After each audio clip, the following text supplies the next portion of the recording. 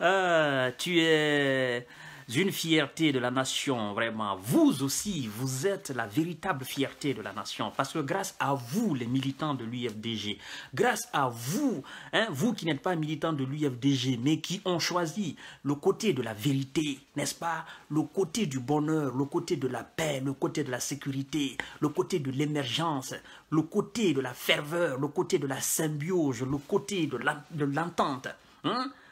Grâce à vous, on sait aujourd'hui que M. Alpha Condé n'est ni de près, il n'a été ni de près ni de loin un démocrate. Grâce à votre ténacité, nous avons découvert cela. Donc, vous êtes la fierté de la Guinée, c'est vous les véritables. C'est vous qui constituez cette véritable fierté de la République de Guinée.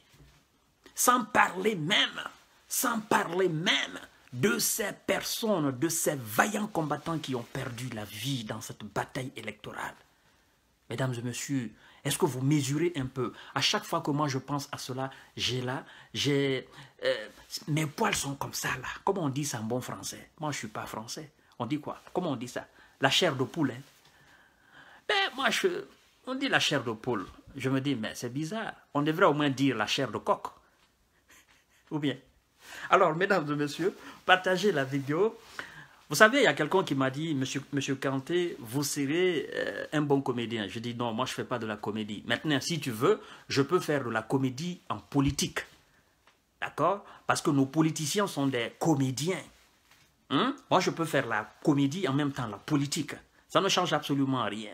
Des fois, il faut déstresser le peuple. Il ne faut pas être tout le temps sérieux. D'accord? Il faut euh, lancer des vannes comme ça, comme ça tout le monde rit. Hein? Il faut avoir cette subtilité-là, c'est très important. C'est une manière euh, euh, d'attirer l'attention de tout le monde, c'est une manière, ok, de laisser la foule qui vous suit à l'aise, quoi. Voyez un peu. Et M. Alpha Condé n'a pas cette qualité. Hein? Il n'a pas cette qualité, il n'est pas subtil. Il ne sait pas faire rire le peuple. À chaque fois qu'il sort ce monsieur-là, c'est des injures, Hein? C'est des, grossièretés. Il n'a pas cette subtilité-là. Il ne peut pas lancer des vannes. D'accord? Lui, c'est un créateur de buzz. Partagez-moi cette vidéo dans tous les groupes. Je dis bien dans tous les groupes, mesdames et messieurs. Monsieur Selou Diallo, le président de la République de Guinée démocratiquement élu par le peuple, le peuple qui a corrigé Alpha Condé, le peuple qui a complètement régné Alpha Condé, le peuple qui est soucieux de son avenir, le peuple qui souffre, ce peuple qui a voté contre la politique machiavélique d'Alpha Condé. Ok? Ce président-là, il déclare, il dit, je cite, En tant que des gens comme Alpha Condé feront de la politique, la Guinée n'ira pas de l'avant. Il ne parle pas seulement d'Alpha Condé. Il dit, en tant que des gens comme Alpha Condé feront de la politique, la Guinée n'ira pas de l'avant. Et cette citation, on peut l'exploiter un peu partout en Afrique, que ce soit de l'Afrique francophone ou l'Afrique anglophone ou l'isophone. Des gens comme Alpha Condé, des dictateurs comme Alpha Condé, des sanguinaires comme Alpha Condé, hein? des aveugles comme Alpha Condé, ok des gens qui manquent totalement de vision, des gens qui pensent que ils sont les plus grands, ils sont les plus intellectuels, ils sont les plus cultivés, des gens qui sont narcissiques, des gens qui ne comptent, c'est-à-dire des gens qui n'ont pas de considération pour le peuple. En tant que ces gens-là feront de la politique, la Guinée n'ira pas de l'avant. Alors le peuple de Guinée, comprenez cette citation. Moi, je vais l'ouvrir. Je vais démorceler cette citation-là je vais, la casser. C'est une brique. Je vais la casser morceau par morceau et je vais vous donner à vous de la prendre, cette citation-là. C'est pour vous prévenir, c'est pour dire, même Alpha, après Alpha Condé, même après Alpha Condé, toute personne qui va s'inscrire, qui s'inscrira dans la logique d'Alpha Condé, nous devons bénir totalement cette personne-là. Nous devons chasser complètement cette personne-là. Et aujourd'hui, ce sont euh, tous les gens qui supportent Alpha Condé, ils n'ont de politique que la politique d'Alpha Condé. Est-ce que vous comprenez un peu? Je veux m'exprimer euh, plus facilement, le plus facilement possible. Je veux expliquer les choses avec un français très bas. Je ne veux pas rentrer dans un français soutenu. Je ne sais même pas parler dans un langage soutenu. Moi, je suis de l'école primaire. D'accord? Donc, je veux parler pour que le commerçant qui n'a jamais mis pied à l'école, mais qui a suivi euh, le B.A.B.A. de la langue française à la maison, pour qu'il comprenne. Pour que l'agriculteur, ok, qui n'a jamais mis pied à l'école, mais qui a appris au moins ce que c'est manger, dormir, se laver, comprenne au moins. J'ai pas besoin d'utiliser les gros mots. Mesdames et messieurs. Donc, M. Selou veut dire quoi? Si M. Kassouri, après Alpha Condé, veut s'inscrire ou veut rester dans la logique d'Alpha Condé, pour faire régner cette politique d'Alpha Condé, ça veut dire tout simplement que nous devons, battre, nous devons combattre euh, euh, euh Kassouri Fofana. Si Mohamed Djané, après Alpha Condé, veut rester dans la même logique qu'Alpha Condé, nous devons nous débarrasser de lui. Alors toutes les personnes qui veulent véhiculer le message, qui veulent véhiculer la politique d'Alpha Condé, nous devons combattre ces gens-là parce qu'ils veulent le retard de la Guinée. La Guinée est déjà en retard. Donc ces gens-là, ils veulent enfoncer la Guinée euh, dans un puits. La Guinée est déjà dans un puits. Ils veulent l'enfoncer encore. Nous sommes dans un puits de, disons, de 50 ou de 100 mètres. Alors ces gens-là, après Alpha Condé, S'ils veulent s'inscrire dans la logique d'Alpha Condé, ça veut dire tout simplement, ça voudra dire tout simplement qu'ils veulent nous enfoncer encore plus bas. Et si vous restez sans réagir, si nous restons sans réagir, si nous ne faisons absolument rien pratiquement, ça voudra dire tout simplement que nous n'avons pas de valeur. Alors, j'ai vu des personnes, parce que vous savez, je vous dis que M. CDD, pour moi, pour moi, c'est un père idéologique. C'est un père idéologique pour moi. Alors, à chaque, déclaration de cet homme-là, j'écoute souvent les commentaires des gens. D'accord? Alors, je me dis aujourd'hui, toutes les personnes qui insultent M. Diallo, il faudrait que je vous donne une notion de vie pour que vous compreniez. Écoutez bien, ce monsieur, il est né en 1952, si je ne me trompe et si je ne m'abuse. Vous savez, il s'est battu pour se faire un nom. Il s'est battu pour se faire une carrière. Il s'est battu pour avoir de la notoriété. Il s'est battu pour améliorer constamment son niveau intellectuel. Ce monsieur-là, vous l'insultez pour rien. Et vous devez comprendre, prenez l'exemple sur vos propres parents, vos propres pères, qui sont nés à la même année que M. Silou Diallo. Comment sont devenus vos, parents là? Qui ont été à l'école comme M. Selouda Diallo. Comment sont devenus ces parents là? Vous allez me dire certainement qu'ils n'ont pas les mêmes destins. Je suis parfaitement d'accord avec vous, ils n'ont pas les mêmes destins. Mais comment sont devenus vos parents qui sont nés en 1952 ils, ont, ils sont devenus comment aujourd'hui? Hein? Ont-ils atteint le niveau de Célou À part la politique? Ont-ils atteint le niveau de Silou Tous les pères qui sont nés en 1952 et qui ont fréquenté l'école ah, qui ont fréquenté d'accord? Vous qui insultez ce monsieur-là, vous devez vous poser cette question-là. Et vous devez, vous, devez demander votre, vos papas s'ils ne sont pas, s'ils ne font absolument rien de leur vie. Et s'ils n'ont jamais réussi à se, euh, à se bâtir une carrière digne de nom. Et s'ils ne peuvent pas vous nourrir, s'ils n'ont aucune capacité de s'occuper de vous aujourd'hui, s'ils croupissent quelque part là-bas dans la pauvreté, vous devez poser la question à votre père, au lieu d'insulter Selou, pour dire, écoutez papa, vous êtes né à la même année que Selou, qui est aujourd'hui l'homme le plus influent de la République de Guinée. Exactement. Mais qu'est-ce que vous, vous avez fait de votre vie? Parce que nous, nous passons notre temps à critiquer ce monsieur-là.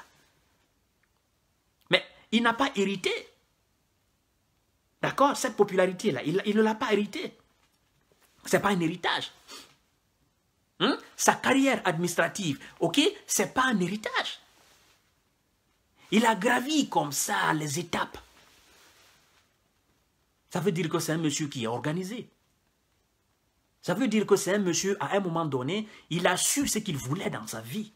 Alors vos pères, vos pères qui sont chez vous, qui n'arrivent pas à s'occuper de vous, Est-ce que vous vous posez la question? Pourtant, ils ont même âge que ces loups.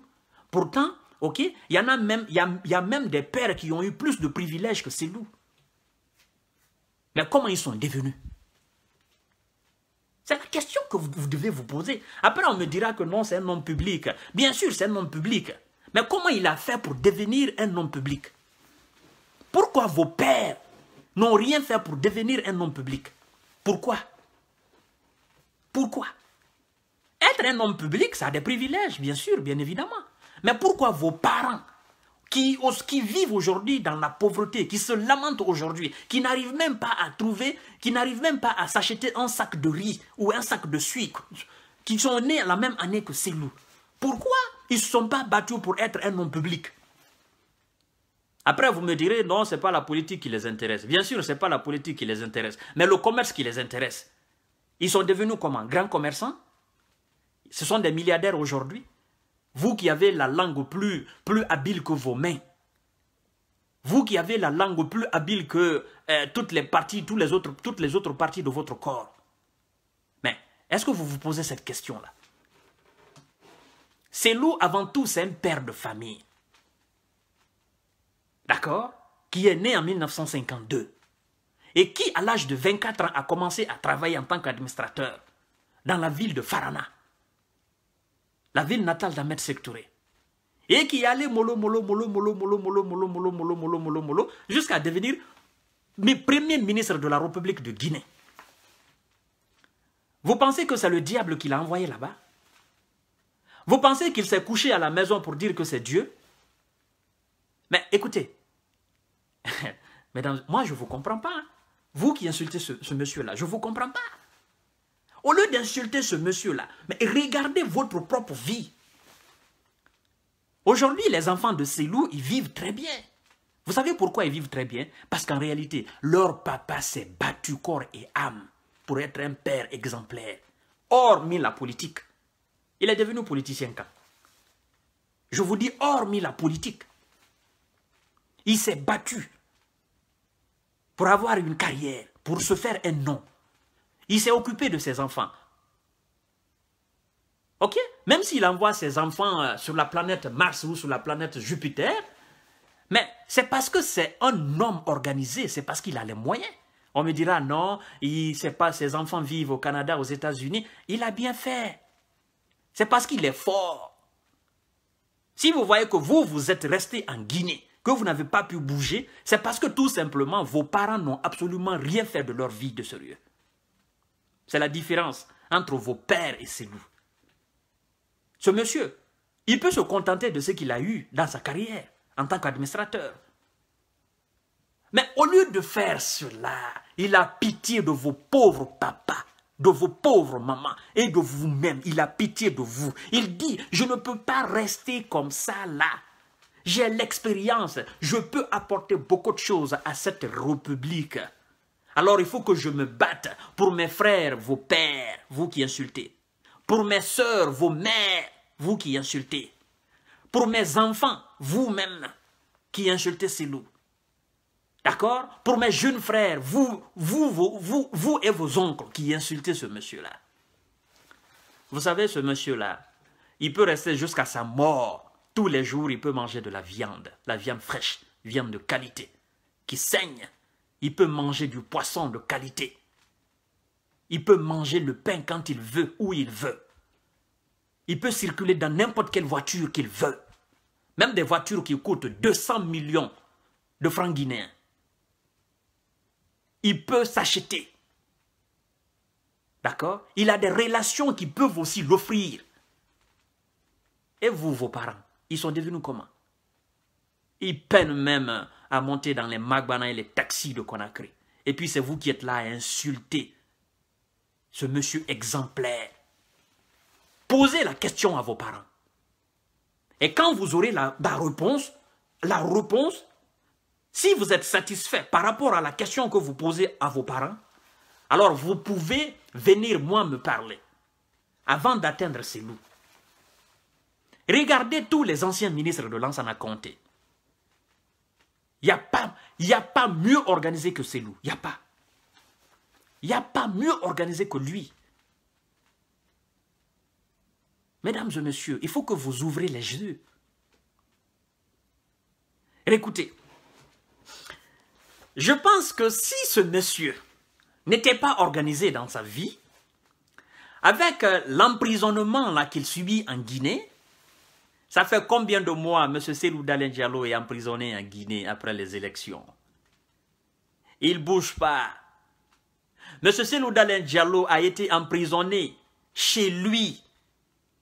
D'accord? Les portails étaient barricadés, tout ça. Ce monsieur-là a tenu combien de temps? Il y a de la nourriture dans le frigo. Il y a de l'électricité, il y a de l'eau. D'accord? Ça veut dire que ce monsieur-là peut rester chez lui pendant un mois ou pendant deux mois sans sortir. Sans sortir, il a de la nourriture. C'est vous qui souffrez et vous, vous souffrez et vos parents souffrent. Ils ne peuvent même pas tenir un jour sans sortir. Vous allez me dire c'est Dieu. C'est pas Dieu ça. Le monsieur, vous savez, en malinké, quand on dit Kambereba, Kambereba, c'est l'où c'est un Kambereba. Quand on dit Kambereba, c'est pas de l'injure, hein. C'est pas de l'injure. Kambereba, c'est qui? Kambereba, c'est quelqu'un qui sait travailler son savoir-faire. Kambereba, c'est quelqu'un qui sait parler. C'est-à-dire qui a l'art de parler et qui exprime. Kambereba, c'est un intellectuel qui sait exprimer son intellect. Kambereba, c'est un commerçant qui sait perfectionner de l'argent. Kambereba, c'est un conducteur qui sait très bien, c'est-à-dire qui a l'art de conduire. D'accord? Quand on dit Kambereba, Kambereba, c'est un ministre qui connaît son savoir, c'est-à-dire qui connaît son travail. Un président Kambereba, c'est quelqu'un qui sait travailler, c'est quelqu'un qui connaît la diplomatie. C'est quelqu'un qui sait euh, sauvegarder les intérêts de son peuple. Ah, on dit Kambereba. C'est la signification. Selou, c'est un Kambereba. En malinké, il y a Kambereba et puis il y a Kamberedeni.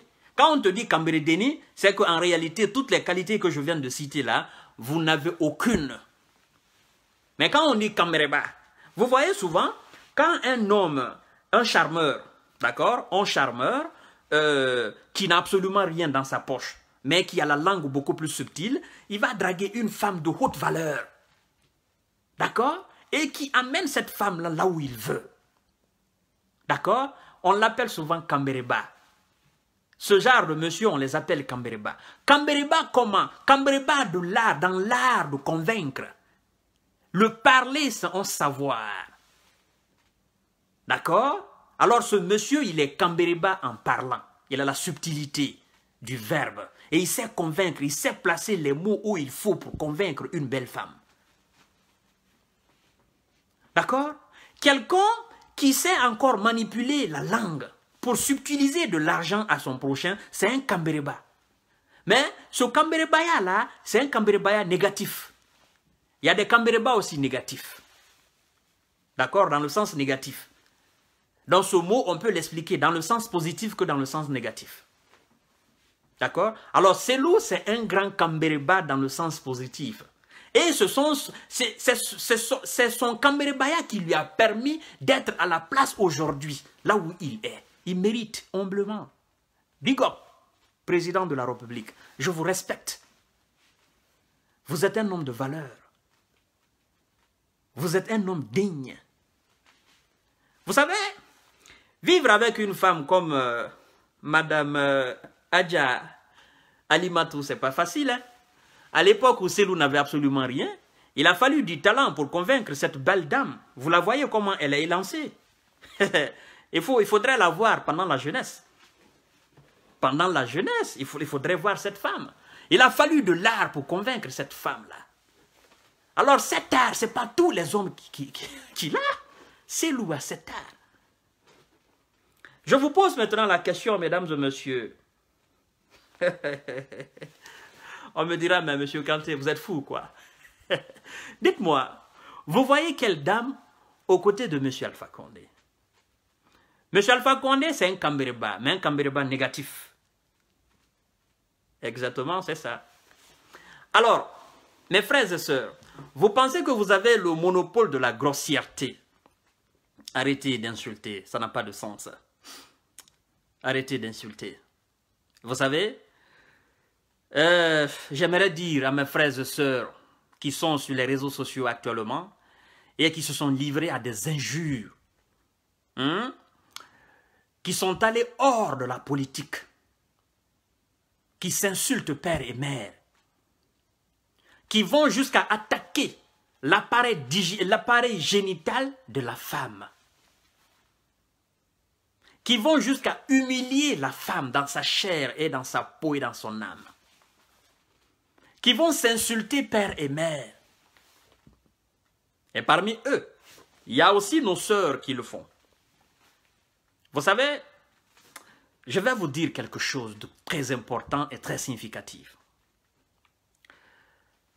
Euh, vous savez que nous qui sommes nés après la création de Adam, c'est-à-dire nous qui sommes les descendants de Adam, nous sommes tous passés par une porte. Cette porte mérite le respect total. Nous sommes tous passés par une porte. Nous, les descendants de Abraham, nous sommes tous passés par une porte. Et cette porte mérite humblement le respect, mérite le respect total. Vous savez, il n'y a pas de porte plus grande, il n'y a pas de porte plus majestueuse, il n'y a pas de porte plus digne que cette porte-là. Préservons cette porte-là. D'accord Vous savez, en sortant de chez vous le matin pour aller au travail, vous prenez soin de fermer à trois coups les portes de vos maisons. Pourquoi? Pour ne pas que un intrus là entre chez vous et fait de n'importe quoi. Et des fois, vous, vous fermez vos portes à trois et puis vous vérifiez réellement si c'est fermé. Pourtant, quiconque prend soin de la porte de sa maison doit comprendre que cette porte-là est petite.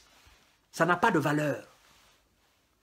Mais la porte à travers laquelle nous venons au monde, cette porte mérite le respect total. Mesdames et messieurs, qu'on soit homme, qu'on soit femme, il faudrait qu'on arrête. C'est pas bon c'est pas bon, mes sœurs blogueuses de la Guinée. C'est pas bon, mes frères blogueurs de la Guinée. C'est pas bon de d'être grossier comme ça là. Allez jusqu'à toucher l'appareil génital de vos mamans. Vous savez, j'ai horreur à ça. Pour vous dire la vérité, j'ai horreur à ça. Et ceux qui se permettent de mettre des vidéos nues, c'est-à-dire des vidéos de nudité, des femmes sur les réseaux sociaux ou des hommes sur les réseaux sociaux. Il faut que cela cesse. Ça n'a pas d'importance. Ça, c'est de l'humiliation totale. C'est pas bon, mesdames et messieurs. Arrêtez cela. Ça, c'est pas de la politique. Je vous ai dit, entrer dans la vie privée des autres, c'est pas la politique. D'accord? Ce que les gens font chez eux, là, ça, c'est pas de la politique. La politique, c'est ce qui se passe dehors. La politique, pour le pays, c'est-à-dire c'est ce qui se passe entre les élites, d'accord? Entre les hommes de tête qui s'asseyent, qui discutent, qui avancent des arguments. C'est ça la politique. Quand vous voyez quelqu'un se livrer à des injures et en disant qu'il est communicant d'un parti politique, en réalité, il n'a pas d'argument. En réalité, il n'a aucune valeur, cette personne. En réalité, ça ne fonctionne pas bien dans sa tête. Des fois, je vois des vidéos comme ça, j'ai honte. J'ai honte. Mesdames et messieurs, il y a des enfants qui nous suivent. Il y a des vieilles personnes qui nous suivent. Il y a des responsables de tous bords qui nous regardent. Mes sœurs blogueuses de la Guinée, arrêtez, ça n'a pas d'importance. Mes frères, arrêtez d'insulter père et mère, ça n'a pas d'importance. Vous pouvez critiquer. D'accord? Les critiques n'ont rien à voir avec des injures. C'est pas la même chose. C'est deux choses diamétralement opposées. Ok? Vous pouvez dire à Selou qu'il est nul, qu'il n'a pas de politique. On comprend. Vous pouvez dire à Selou qu'il est peureux. On comprend. Vous pouvez dire à Selou qu'il n'a pas de stratégie. On comprend. D'accord, ça c'est des critiques. Vous pouvez dire à Selou qu'il est ethno, d'accord, ça c'est des critiques, j'accepte tout ça. Même si ce n'est pas vrai. Ok? Mais aller toucher l'appareil génital de ces élites, mais c'est immoral. C'est de l'immaturité, mesdames et messieurs. Moi, je ne peux pas accepter cela. Il faut que vous arrêtiez, c'est pas bon. Alors, Partagez au maximum la vidéo. Je veux que vous partagez au maximum. Au maximum. Parce que quand je parle, il faut que ça aille loin. Ça, c'est la télévision nationale guinéenne. Partagez au maximum. La question que je vous pose, jusqu'à présent, je n'ai pas de réponse. Dites-moi en réalité, les femmes qui ont payé la caution d'Alpha Condé pour les élections présidentielles, ces femmes-là, elles vivent comment aujourd'hui en Guinée? Les femmes qui sont allées s'amasser devant le domicile de M. Selou, en scannant son nom, elles vivent comment aujourd'hui? M. Alpha Condé a dit que ce sont les femmes qui se sont mobilisées, elles ont cotisé, d'accord, pour payer sa caution. Ces femmes-là, elles se plaignent aujourd'hui? Elles vivent mieux aujourd'hui que les autres femmes guinéennes? Les femmes qui sont allées devant le domicile de Selou, vous vivez mieux aujourd'hui par rapport aux autres femmes guinéennes? Dites-moi la vérité. Dites-moi la vérité. Dites-moi quelque chose dans les commentaires, mesdames et messieurs. C'est pourquoi je vous dis de partager cette vidéo. Pour que cette femme, euh, dans son lit quelque part là-bas, à Conakry, Kaloum ou euh, Ratoma, je ne sais pas, hein, pour qu'elle puisse voir la vidéo de M. Kanté et pour qu'elle sache que je suis en train de parler d'elle, qui se sont mobilisés et qui sont allés dans un élan euh, d'ignorants, ok, dans un élan d'ignorance, elles sont allées devant le domicile de Selou, aller crier oh ah oh ah. Ben, ces femmes-là, elles vivent comment? Il paraîtrait qu'elles reçoivent des millions par mois, ou bien je me trompe? Dites-moi. J'aurais appris qu'elles gagnent au moins, chacune d'elles gagne au moins quelque chose de 5 millions par mois depuis les élections. Ou bien? Ben, si ce n'est pas ça, dites-moi le contraire, mesdames et messieurs. S'il vous plaît. Je veux le contraire de ce que j'avance. Dites-moi quelque chose dans les commentaires. Dites-moi. Si une, ne serait-ce que une, hein, de ces femmes qui ont soi-disant cotisé pour Alpha Condé, payé la caution d'Alpha Condé pour les élections, si elle se plaint pour dire que le marché est cher, ça veut dire tout simplement qu'elles ne sont pas dignes de confiance, politiquement. Je dis bien politiquement. D'accord? Politiquement, nous sommes en politique. Je ne rentre pas dans la vie privée des gens. Je dis bien politiquement, nous sommes en politique. Elles ont contribué à leur propre galère. Je parle de la politique. Elles ont, contribué à, cette... Euh, à cette euh, mascarade électorale. Je parle de la politique. Elles se sont fait avoir par ce vieux roublard qui les a roulés dans la farine et qui les a mis dans le four. Une fois cuit, qui a consommé. Elles pensaient que c'était un problème de silou. Elles n'ont rien compris mais elles vont comprendre. Parce qu'on dit en français que comprendre, c'est de comprendre ce qu'on n'avait pas compris. Elles n'avaient pas compris, mais elles vont comprendre, si elles n'ont pas encore compris. Mesdames et messieurs, vous savez, ça me fait rire. Parce que ce jour-là, si on doit parler de la juridiction, si on doit parler de la justice, si l'on doit parler de l'ordre, d'accord? M. Selou tout simplement, en tant qu'un citoyen guinéen, pouvait aller porter plainte contre ces femmes pour violation de domicile. D'accord? Pour violation de domicile. Parce que elles sont, allées chez M. Selou sans motif. Les femmes qui sont allées chez Selou, là, vous êtes des citoyennes guinéennes, comme M. Selou Dalé est citoyen guinéen. Maintenant, pourquoi? Vous n'avez pas manifesté devant les domiciles de vos maris Pourtant, vos maris sont égaux en droit et en devoir que M. Selou Dalé Diallo. Ah, ah donc c'est un homme politique. Ah, donc c'est, il est valeureux. Il est plus valeureux que vos maris. Il a plus de valeur que vos pères. Ah, donc c'est pourquoi vous êtes allé chez lui. Ah, c'est un homme public. Alors vous pensez que c'était lui qui faisait sortir les enfants dehors? Mais vous ignorez aujourd'hui que, après vos manifestations là, après vos cris là, c'est Dalin continue de manger la chair, la bonne, la bonne chair qui saigne. Il continue de manger le bon poisson. Il continue de manger quand il veut et comment il veut. Mais vous, comment vous mangez chez vous? Vous avez dit, ah non, il faut qu'il arrête de faire sortir les enfants dans la rue. Vous pensez que c'était lui? Vous pensez que c'était ça le problème? Et depuis que M. Sielou Diallo reste chez lui sans sortir, parce que même s'il appelle aujourd'hui à manifester, vous n'allez pas sortir, Maintenant, je vous pose la question, mesdames et messieurs, vous qui êtes partis euh, euh, manifester devant le domicile de Silou.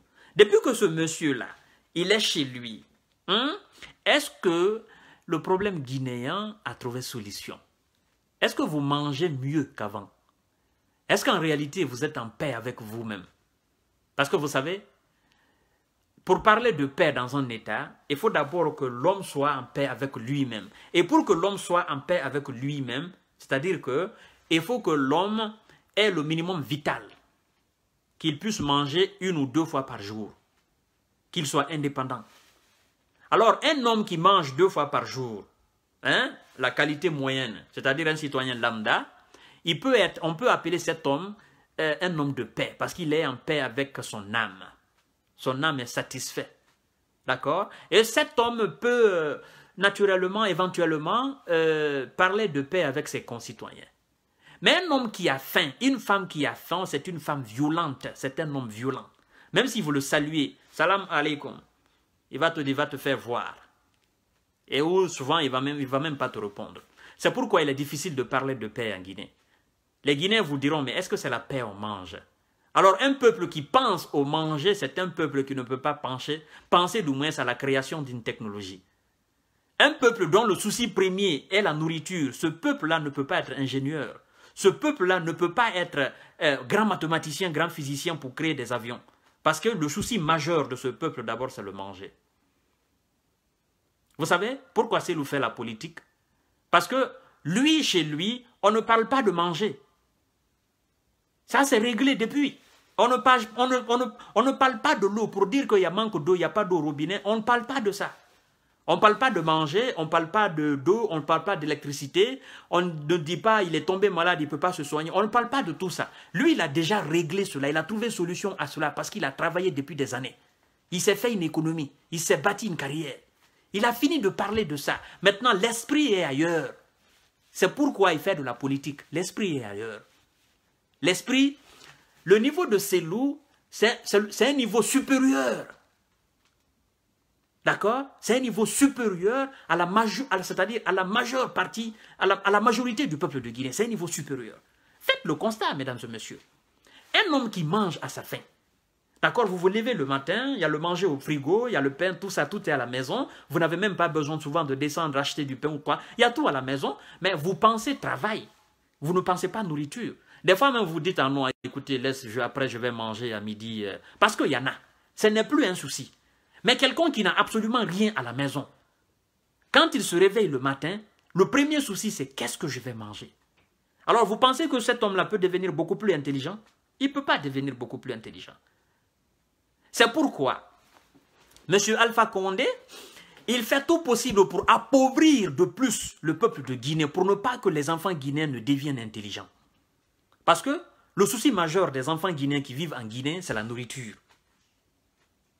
D'accord? Ils pensent nourriture. Ils marchent nourriture, ils dorment nourriture, c'est la nourriture. Donc, c'est ce qu'on appelle asservir. Il a asservi le peuple. Il a pris le peuple jusqu'à la clavicule. Et du coup, les enfants ne sont pas intelligents. Même ceux qui vont à l'école, à l'université. Ils n'ont absolument rien. Ils vont à l'université le ventre vide. Vous pensez qu'ils vont comprendre quelque chose à l'université? C'est pourquoi le niveau des étudiants guinéens est un peu bas. si je me permets un peu bas, je ne dirais pas trop bas, mais un peu bas. Parce qu'il n'y a rien dans le ventre. Ils se lèvent le matin, il n'y a même pas d'argent dans la poche pour acheter, euh, pour se faire du transport, tout ça. D'accord, les amis? Alors, écoutez bien, on ne va pas finir tout ça. Ben, on va pas finir tout ça et on va arrêter pour aujourd'hui, d'accord? Demain, euh, je serai là devant vous, Inch'Allah, et pour décortiquer encore autre chose. Parce qu'à chaque fois que je parle, l'inspiration vient et les heures passent. Et donc, on a des frères en Guinée qui ne peuvent pas voir euh, toutes les vidéos que je fais souvent. Donc, euh, il se plaint pour dire, Monsieur Kanté, vous êtes tellement cohérent, vous êtes tellement bon, mais nous aimerions que vous fassiez les vidéos euh, de 30 minutes et consorts. C'est pas moi. Dès que je commence seulement, l'inspiration, ça vient, ça vient. Parce que je connais chez moi, je connais mon pays, je connais les problèmes, je connais les hommes. Je n'ai pas besoin d'écrire, je ne me prépare pas. Il suffit seulement d'avoir le titre et je viens m'asseoir devant vous pour décortiquer. D'accord? Moi, je ne me prépare pas. Je ne prends pas de page, non, non. Je prends seulement l'information ou la déclaration de Célou, euh, quelque chose du gouvernement. Allez, c'est fini, je viens devant vous. Au fur et à mesure que je parle, l'inspiration, ça vient. Donc, si je me laisse aller par cette inspiration, on ne va pas quitter ici. Donc, mesdames et messieurs, euh, j'aimerais simplement dire à toutes ces femmes qui, se sont, mobilisées à un moment donné devant Célou, euh, écoutez, demandez pardon à Célou dans vos prières pour dire, Monsieur Célou, nous vous avons causé du tort il faut que vous nous pardonniez. Nous étions manipulés par euh, un groupuscule malhonnête, un groupuscule d'hommes malhonnêtes. Nous étions manipulés par ce vieux roublard. Il nous a donné peut-être euh, un million, un million, un million, et depuis lors, nous avons fini de bouffer cela. Nous avons pensé à un moment donné que vous étiez le problème de la Guinée, vous étiez à la base de la violence en Guinée. Mais en réalité, il y a autre violence en Guinée qui n'a rien à voir avec les manifestations. Parce que la violence frappe de plein fouet le peuple de Guinée. La violence de la pauvreté, la violence de la misère, c'est la violence la plus grande. C'est ce que vous devez comprendre. La violence de la maladie, la violence de la malnutrition, de la sous-alimentation.